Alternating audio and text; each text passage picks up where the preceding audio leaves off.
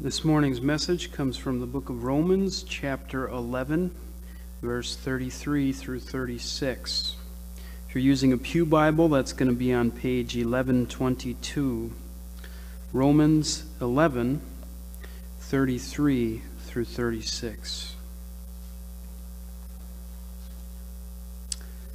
Oh, the depth of the riches and wisdom and knowledge of God! How unsearchable are his judgments, and how inscrutable his ways. For who has known the mind of the Lord, or who has been his counselor, or who has ever given a gift to him that he might be repaid? For from him, and through him, and to him are all things. To him be glory forever. Amen. This is God's word. Thank you. Well done, ministry, music, all varieties of the ministry of music today. So well done. We thank you in the name of Jesus. The passage today is is a this is a song to God from Paul, and you'll notice the verses, verse 33 to 36. Verse 33 comes on the heels of 32 and basically 9 through 11. And this passage is a passage of delight. Paul is essentially answering the question why does God deserve glory? He is answering this question uh, for by the Holy Spirit for our benefit today. Why does God deserve glory? Glory being high praise from his people. And then he goes on to provide, if you like, two answers that can stimulate us to give God greater glory. So implicit in here uh, is this is this question, why does God deserve glory or high praise? And a couple of answers are given. We will look at those in a moment The passage, verse 33, obviously, is supported by verse 34 and 35 with the verse, the word for, or the reason is. And then verse 36, for, the reason is. This text is a brilliant unity, and there are essentially two, two reasons that fall out of it. Uh, we could shake out more, but in the interest of time, we will just do two, 33 through 36. One of the one of the doctrines that appears here is called the doctrine of the incomprehensibility of God, which simply means that believers can grasp some of the things about God, but we can never hold God in our grasp. That is to say, we can never know him totally, even by the ministry of the Holy Spirit working through the Word of God. We know sufficiently about God. So you'll see that fall out as we go along, and I'll reference a couple of verses. Here then is this word that comes from God. It's called a doxology. It is also called a hymn of praise. This is a hymn of praise in various ways that must be upon the church's heart. Uh, this, this is um, a vital, vital position that we must maintain in the church. If we lose sight of the glory of glorying God, then we lose sight of the faith entirely. So let us pray. Heavenly Father, through your word, O Lord, help us to stand in awe of you and to glorify your name. We have seen in this book of Romans much truth. And now, Lord, as we proceed, let us pause for a moment and lift up our praise to you. We do ask, Lord, that you would bring your church in America to its knees so that we might repent of delighting in ourselves and in our buildings in our cash, in our things, and glory in you alone. We ask these things in the name of Jesus. I was reading this week that a total solar eclipse of the sun, total solar eclipse of the sun, will take place on 21 August 2017. So we have time to prepare. 21 August 2017. And the total eclipse occurs when the apparent diameter of the moon covers the sun in the sky so that you go from daylight and then progressively to twilight and then poof, to darkness. Now, this, um, this total eclipse, according to what I read, will take, will, will be, those who can see it, will take two minutes and 40 seconds. Two minutes and 40 seconds. What happens if it's two minutes and 39? Things are, are off. It'll be two minutes and 40 seconds for those who can see the total eclipse. And that won't be very many people. It'll be a thin strip down in certain portions of America, and you can find it on the internet. Here's this little strip. And those will be able to see the total eclipse. Other people who will be viewing in other areas of this land and other parts of the world will not see the um, a total eclipse. They'll see a partial eclipse. But the total folks will see that apparent diameter of the sun or of the moon block out the sun and it, boom, darkness comes. How many have seen a total eclipse, by the way, who are here today? A total eclipse of the sun. Yes, yes, I have, I have, I have, I saw it. In the early 1970s, even before it was made famous by Carly Simon, a total eclipse took place in Nova Scotia. Yes, it did. And I did not see it with my these little pearly things here. Uh, we had to watch through devices, you know, to keep our eyes from being harmed, or in through reflection. Uh, some were, were able to see it as it was unfolding on uh, by way of special uh, telescope and camera mountings. But anyway, it was quite impressive to see your, your brilliant sunshine one moment, then suddenly the diameter of the moon begins to move across the sun. And at that moment, when you see a little sliver of the sun, and the next a corona, and then for a minute or so, I can't remember exactly, we're in darkness. And um, it was amazing. Afterwards, many of my students and people in the newspapers, of course, were reporting on this wonderful uh, thing that took place. We were able to see a total eclipse of the sun, even from Halifax, Nova Scotia, where nobody cares. Anyway, we, we saw this, this beautiful display of God's glory how his, his world operates. I wasn't a Christian then, but I was just struck. And many people were amazed. It was a wonder to behold, people said. Well, now think about this. The Apostle Paul, just an ordinary guy, he's converted by God, and he's called by God to write the book of Romans. So he's writing Romans. And then God shows him something through the Holy Spirit, something so amazing that it sets him back on his heels. And it, it's this whole thing of salvation history. God shows him by the Holy Spirit, and he wrote it down for us, what happened and is happening and is going to happen in salvation history. He saw this. He saw the time of, of, of, of ethnic Israel. God called the Jews out from among the nations. What mercy! What mercy was this? And at that time, this mercy was displayed against the backdrop of uh, the disobedience of the Gentiles, or the Goy, or the nations.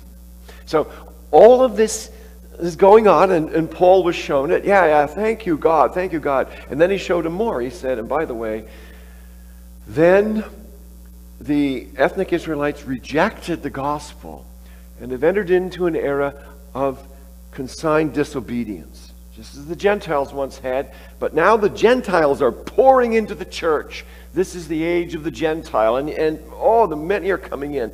And um, isn't this delightful? And Paul could see it. So the, the mercy shown to the Gentiles against the backdrop of the disobedience of ethnic Israel. But, he's, but God is not done with ethnic Israel because just before the second coming of Christ, you'll have this great ingathering of the Jews. And, and uh, to the glory of God, his mercy will be displayed again, and this time against the backdrop of the mercy shown to the Gentiles. So you have mercy upon mercy, grace upon grace shown to the people of the earth, the Jews and the Gentiles. And when Paul saw this, he didn't say, oh, well, I don't know of anybody, by the way, in Nova Scotia who had, I, there may have been, but when the, the, um, you know, the eclipse was going on, who just said, oh, another minute of sleep. No, it was, it was amazing. People just went back on, their, on their heels. Wow! I've never seen it since. But what a delightful thing to observe. And Paul, infinitely greater in, um, incident, was able to see by the Holy Spirit the salvation history open up before him, and there God shows his work. And what does Paul do? He steps back in amazement. And he says, This. This is what he says. And what Paul is doing here, he, he sees all this wonder, but the power of the Holy Spirit, he begins to glorify God. He gives glory to God, which is our purpose anyway as Christians. We're to glorify God and enjoy Him forever. And Paul touches on this a little further on. Just let me go there. Ephesians chapter 1. Paul just doesn't stop here in Romans. You see it in his letters. He's a man who gives glory to God. Listen to this Romans chapter 1, uh, verses 11 and 12. In him, that is God, we have obtained an inheritance, comes from God, having been predestined according to the purpose of him who works all things according to the counsel of his will. See, there's that salvation history again, the counsel of his will, so that, this is the result, uh, we who were the first hope in Christ might be to the praise of his glory. This expresses who we are. This is so that we who the first to hope in Christ might be to the praise of his glory. That's the whole purpose of our lives, is to bring glory to God. So let's go back to Romans. Now, this is Paul. He's showing us our role as believers is primarily to glorify God for what he has done. Now, this purpose is hindered in many ways in the West by a self centered attitude, which is characterized by demands such as make me happy, give me what I want, uh, I deserve a better life, so be at it, God, and so on. Today we're going to discover a question and a couple of answers that I hope, uh, with respect to sinners like me, that I will be able to grasp this truth by the Holy Spirit and to give God glory that he so deserves. This mouth, this heart, this mouth, this mind must, must praise God and give him all the glory. So we're going to talk about, we're going to give an answer to this question. Why does God deserve glory anyway? As soon as Paul says in this verse, verse 36, B, to him be glory forever. Amen he puts a period on this section from Romans 9 through 11. And what he's saying is, God deserves glory. And now, prior to this, from verses 36 through, or 33 through 36a, we see the reasons for this giving of glory. And they're the very reasons that we must attend to as we live our Christian lives. I have no doubt that uh, in the United States right now, the visible church, you have very little glory being given to God. You have fake revivals going on across the land even now. Just fake and nonsense, nonsensical, pointing to man, but not to God. We're going to discover the answers to this question why does God deserve glory anyway? And let's ask God, oh God, revive our hearts. May these two answers to this question ignite a flame within our souls that cannot be put out. So God deserves to receive glory from our hearts, from our lips, from our minds for at least two reasons. And we're going to do that right now. Let's look at the text. Verse 33. Let me just read verse 32 to give you the flavor. For God has consigned all to disobedience that he may have mercy on all. This is a different kind of eclipse that he's watching. You have, you have the disobedience and then the brilliance of God's mercy coming across. So we see the disobedience of humanity, that, that, that uh, consignment and the shadowy disobedience of humanity. And all of a sudden, the delight of the Son of Man coming and the mercy of God displayed, and it, it brings to our souls great light. And this is what struck Paul. Verse 33 Oh, the depth. Now think of this the depth. The word should, should bring to mind the oceans and what appear to be bottomless bottomless trenches is deep, very deep, very uh, much beyond com- mere comprehension. So the depth of the riches, and you should think when you think of riches, it's it's think of immeasurable of the riches abounding of God, His His throne. Think of His throne and of His majesty and the train as was described by the prophets, this glorious picture of God, his riches, the delights of God, innumerable. And the better translation, this text reads, Oh, the depth of the riches and the wisdom and knowledge of God should really be translated, probably a better translation, the depth of the riches. Uh, the depth of the riches of both wisdom and knowledge of God. So it's, uh, oh, the depth of the riches of both the wisdom and the knowledge of God. You can translate it the way it is in my Bible. You can also translate it the other way. So the, the deep and immeasurable qualities of God. How unsearchable are his judgments, how inscrutable his ways. The word inscrutable can also be translated incomprehensible. We'll touch on that in a moment. Therefore, the first answer to the question, why does God deserve glory? All the glory from the people of God that we can muster by the power of the Holy Spirit through our sinful lives. We should glorify God. Why does He deserve it? One, because of His infinite qualities infinite qualities. Think of light traveling across the universe and it's going from, from the earth on into space and it just keeps going and going and going and going and going and going. And our mind can attach onto that. That's not a that's really not a good way to understand infinite, but at least we can attach to it and get a glimmer. So here it is, his infinite qualities. Paul extols the infinite wisdom and knowledge of God. Now, just like two discs coming over each other, wisdom and knowledge intersect. And Paul uses words in this, particularly here in verse 36 or 33, that, that intersect. And if you remember geometry, you have a sphere and another sphere, and they intersect.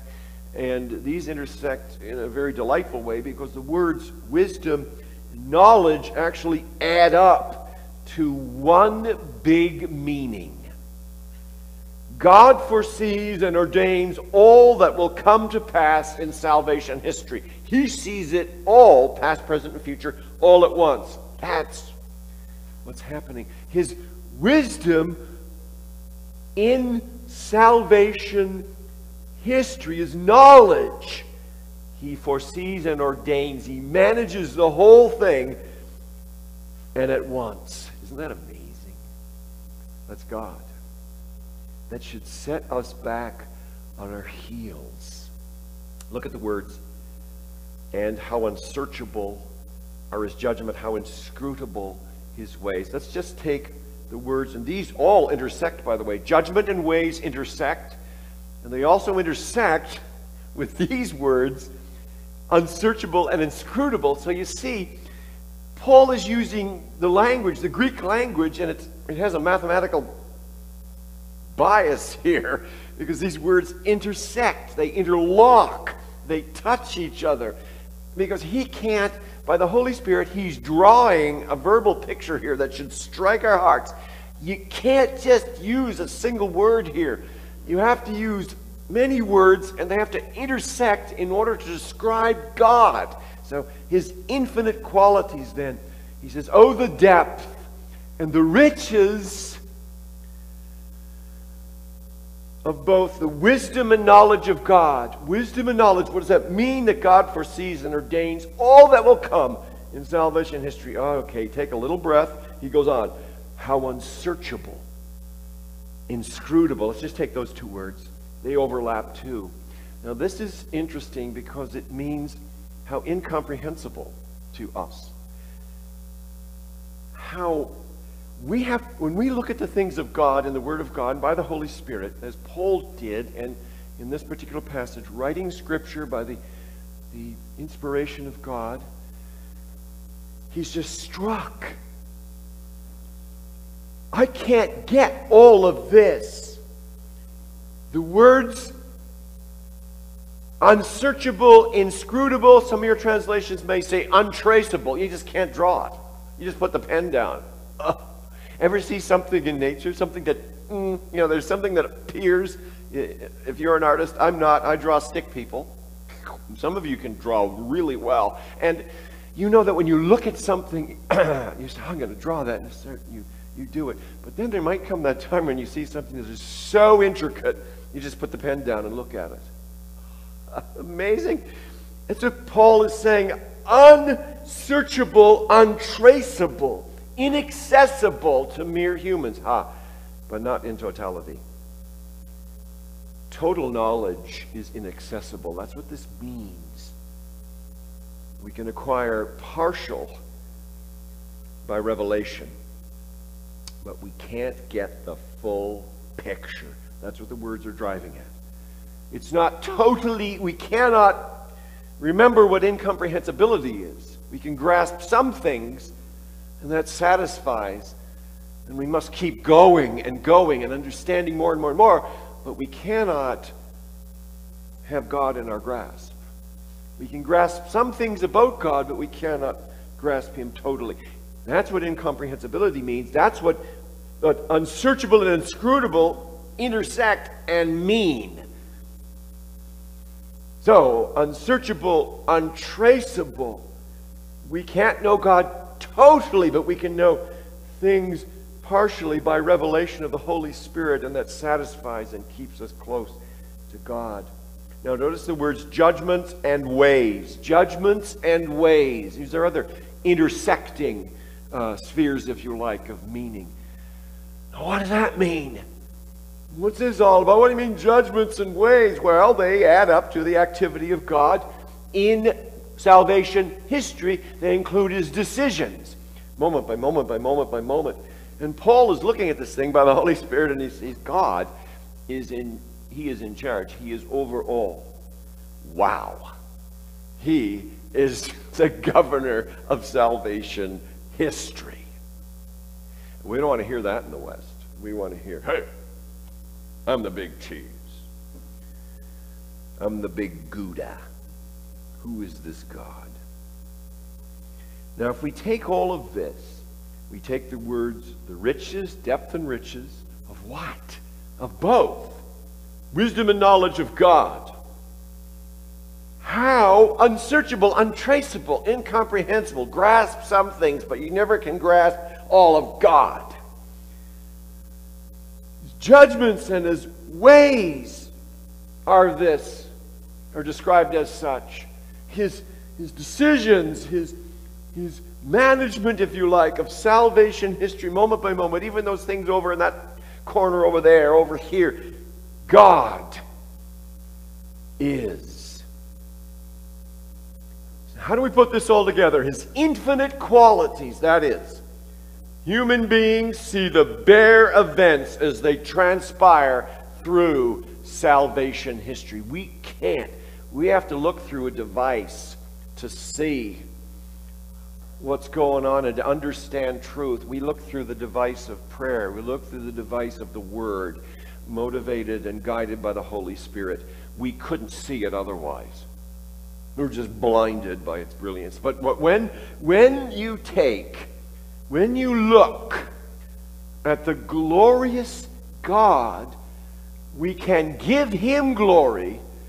We look to the device of word and prayer, and we reject self, look at word and prayer, we see wisdom, knowledge, judgments, ways, unsearchable, untraceable judgments and ways and it sets us back on our heels. Turn to Deuteronomy 29 29.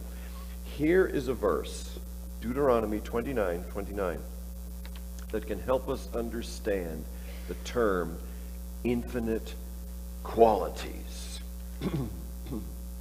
Deuteronomy. Now, some of you know it by heart. It's a familiar verse. Deuteronomy 29 29. The secret things belong to the Lord our God, but the things that are revealed belong to us. This is called the doctrine of the incomprehensibility of God.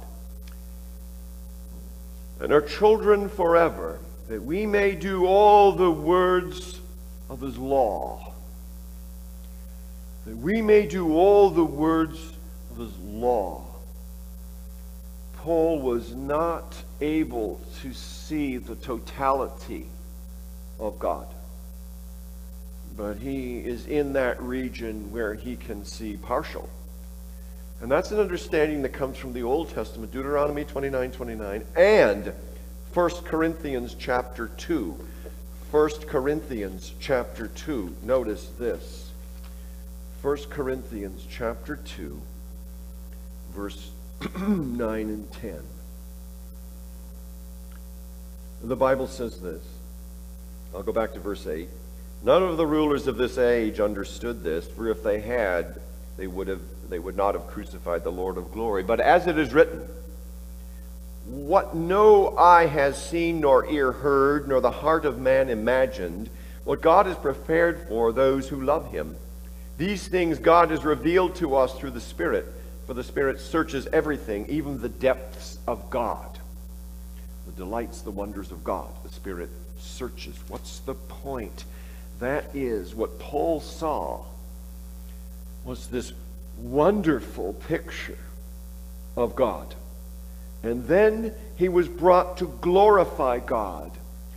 And he glorified God because God has these infinite qualities of wisdom and knowledge and judgment. And he judges in particular ways, and he judges in unsearchable and untraceable ways infinite qualities. Paul can't see it all, but he can see some. And it's enough to, to give him, it sets him back on his heels, it gives him joy, and it brings him to glorify God. He has infinite qualities of wisdom and knowledge. He has these qualities that are unsearchable, untraceable, these judgments and ways. He can see some things, but not totally. Because he's not allowed to. He can only see what is given to him. And even then, he cannot look upon it with mere human eyes. He looks upon it through the lens of word and prayer, through the revelation of God and by the aid of the Holy Spirit. So now what should, do we say?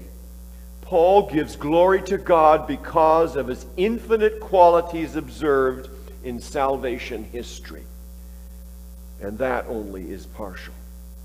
Do we not see as in a glass dimly? Here's a question to take from this quality. We're going to apply this in a moment more application, but just a beginning. Why are we so slow to give God glory when his infinite qualities are displayed in the Bible? Why, are pe- why am I so slow to give him glory? To say to him, God, you have demonstrated in your word that I have just read this quality. You have demonstrated this wonderful attribute, and for that I give you glory. Why am I so slow to do this? May the Holy Spirit show me why. And then there's another quality. The question is why does God deserve our glory? His infinite qualities. That's why. He possesses infinite qualities, but he also has absolute position. Absolute position. Infinite qualities, absolute position. All right, what are we talking about? Look at verses 34 through 36. Now, here we get the four words, four words, four F O R, F O R. And I'm going to squeeze these together 34 to 36a. And we'll come up with the second reason why God deserves. It's because of his absolute position that he deserves glory. Now, here quotes from, these are quotes from Isaiah chapter 40 and from Job. We have various quotes uh, from Job compressed here.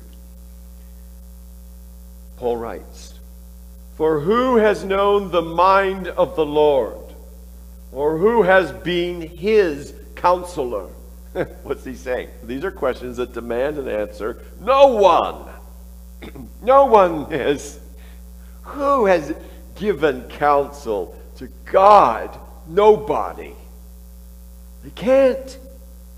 Who's known his mind? These feeble minds of humanity, we think we know him? No way. Who has given a gift to him that he might be repaid? In other words, who has given him counsel? And God has said, Oh, that's so good. I'm going to give you this gold or something. Yeah, nonsense. That doesn't happen. This is God. The mere human mind doesn't God doesn't wait around wringing his hands. Oh, goodness. I wonder if someone can help me out with this big problem. I, I, I, just don't know how to reach the nations. I can't do it. Somebody help me. How about marketing, oh God? How about marketing? How about doing a survey and find out what people like and then give it to them and that's going to solve the problem, isn't it? Yeah. Oh, thank you. Never thought of that. Here, how about, you know, you got cults now in America. How about if we write scripture, more scripture? That's going to help things. Oh, gee, never thought of that. Good idea. Great. Nonsense. Who has given him counsel? the God of heaven laughs at such. No finite being has enough wisdom to enter into God's mind and tell him how to run the world. No human could have devised the plan that God performed and showed to Paul.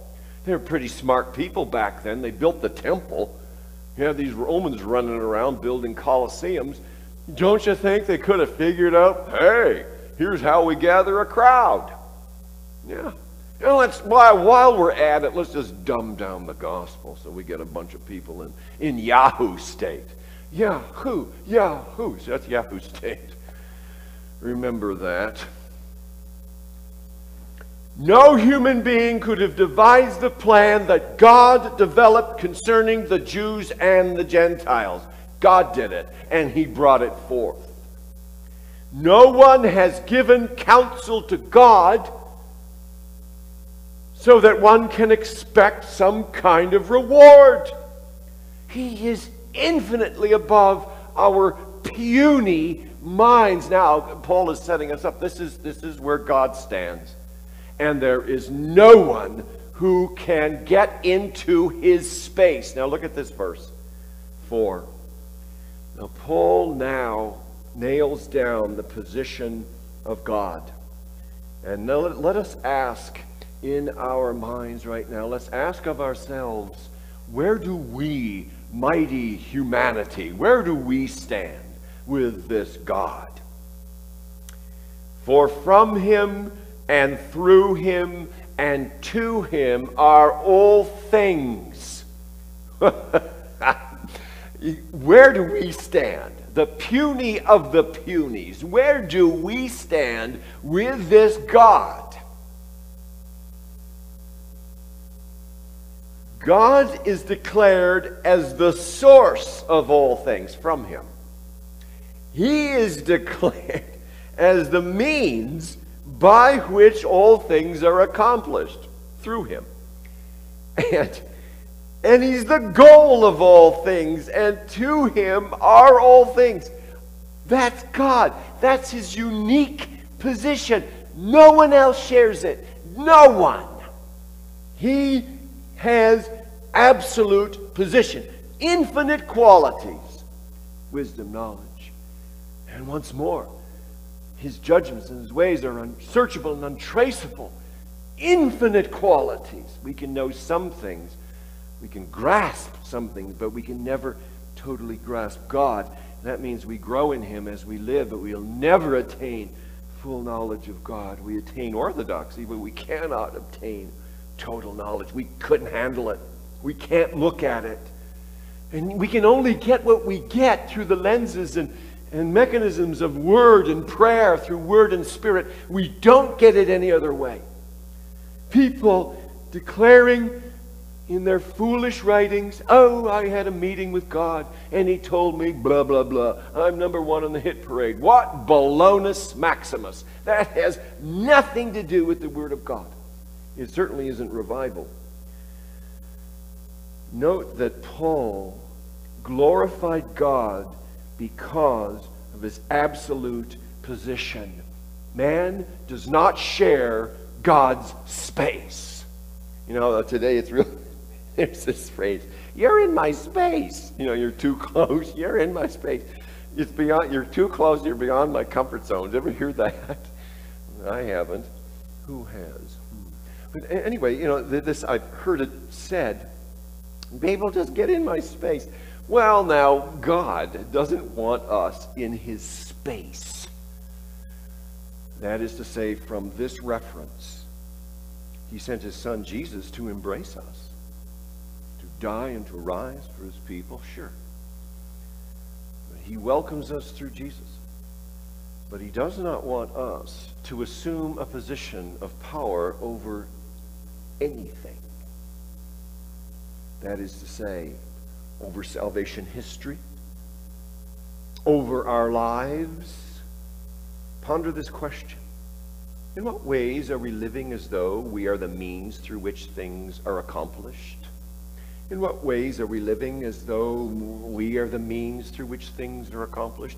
God, I can, I must do this in order to attain this. I know your Bible says, says such and such, but I'm not going to do that. I'm going to do this. I will bring about something far better than your word could ever do in me. So I'm not going to obey that portion of Scripture. I'm going to do my own thing. I am going to do my thing and still praise you. what nonsense. In what ways are we living as though we're the means through which things are accomplished? I will call upon God when I need Him. I will obey Him when it fits. Otherwise, I will rationalize away his word and do what I want to do and still call myself a servant of God. What baloney. God is in the absolute position. We don't share his space in terms of the absolute.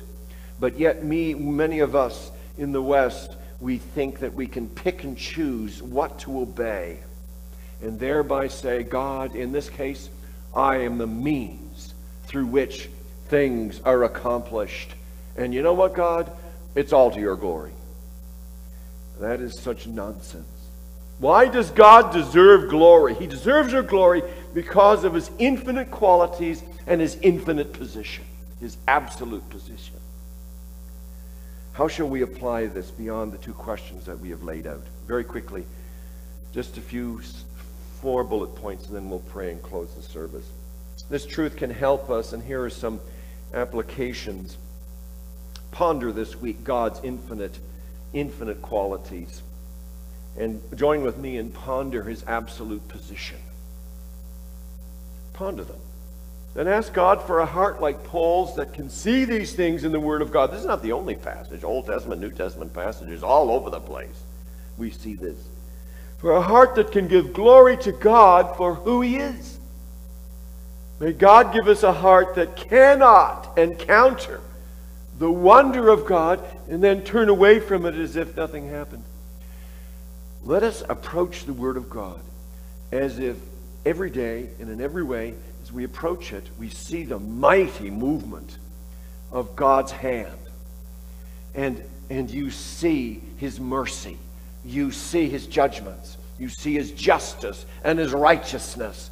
And they intersect and they produce for us a wonderful display of truth that sets us back on our heels and says, Wow, that's God. So let's pray. God, as we read your word, I don't care if we discover little cutesy insights. What we need in this country, in our church, weak people like me, what we need is to actually encounter the living God as we read and pray and to give him glory for who he is. Secondly, may we never be satisfied with what we know about God. Persevere in study, in prayer, even to the day that we cannot. Because in those days when we are so hindered, perhaps by physical issues, that we can still in our minds delight in the God of the universe, who creates and saves, who is a God of mercy, God of righteousness. He is a God of love, he's a God of judgment. He is a God of peace. Let us persevere in studying this God. I hear across this land people talking about new revelation. We already have it. It is called the Word of God. And by the Holy Spirit who reveals, we can grow in the grace and the knowledge of the Lord Jesus, but not through charlatans. We grow by Christ. Therefore, Lord, set me afire for this. Thirdly, remember this truth worship must be planned around God.